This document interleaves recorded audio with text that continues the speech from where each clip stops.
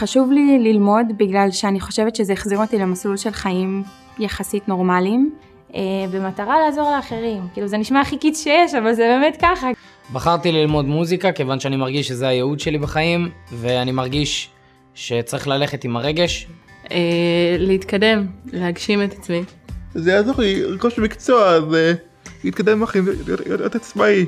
קמפוס נגיש בשבילי זה קמפוס שקרוב לי לבית. שהמרצים והצוות מכיר את כל המוגבלויות שהן לא נראות לעין. זה סבלנות מצד כל האנשים שנכללים בקמפוס. והכלה של הבן אדם. קמפוס נגיש שיש אה, מעלית. אה, הדבר הכי משמעותי שסטודנט או מרצה יכולים לעשות בשבילי אה, זה להבין שהשעות קשות. זה הקשבה, הבנה והכלה, לא מתוך רחמים. שיהיה מודע לקשיים שלי, זה שיכיל את זה. זה פשוט להיות שם. בלי שאני אצטרך לקום ולהגיד בקול, אוי סליחה, יש לי מוגבלות. אני לא חושבת שאני מרחמת על עצמי, אבל אני כן יכולה להעיד שיש הרבה פעמים שקשה לי. אני לא מרגיש שאני מרחם על עצמי. אה, אני לא מרחמת על עצמי, זה דבר ראשון. בכלל לא. אני אמרתי שאני עושה מהלימון לימונדה. אני מרגיש שזה, כמו כל הסטודנטים. האמת שכרגע עם הלחץ אני לא מצליחה להיזכר בכלום. וואי, היו מלא, אבל אני לא זוכרת. אני צריך לחשוב על זה, לא עולה לי משהו עכשיו. פונה אליי המנקה, היא שואלת אותי, אה, בחור, בחור. אני אומר לה, מה? היא אומרת לי, למה אתה ככה? למה את ככה? אז היא אומרת לי, אני נולדתי ככה. אמרתי לה, יופי, גם אני. אם יעלה, נחזור לזה בהמשך.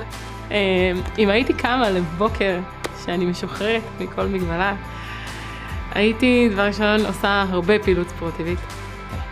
קודם כל הייתי הולך, גונב איזה אוטו ונוהג. זה דבר ראשון, או עולה על איזה אופנוע. הייתי מתנדב יותר, ספציפית עם נוער בסיכון. וואו, הייתי הולכת לים. לחוף, לים. הייתי לוקחת יום חופש, ופשוט עושה משהו כיף עם בעלי ועם חברות. קודם כל הייתי מנצל את זה אולי כדי להקליד יותר מהר את השיעור ואת הסיכומים בעצמי. הייתי פשוט יכולה ללכת בלי לחשוב על שום דבר. וואי, זה היה מדהים. לענות שוב על אותה שאלה או ש... אחלה. סבבה. אני ממש ממש מכורה למשחקי מחשב. אין הרבה בנות שמכורות למשחקי מחשב. בן אדם עם מגבלה יכול לעשות דברים שאנשים אחרים לא מעלים בדעתם. אימא לחמישה ילדים, מאוד אוהבת ליהנות, לצאת. כן, כן, המגבלה היא רק בראש שלך. יום, יום מעבר לזה. רק שלא היה לי משהו מצחיק, יצאתי כאילו עצוב. אני עדיין חושב על זה ואני לא, לא עולה לי משהו. לא, לא, לא עולה לי כלום.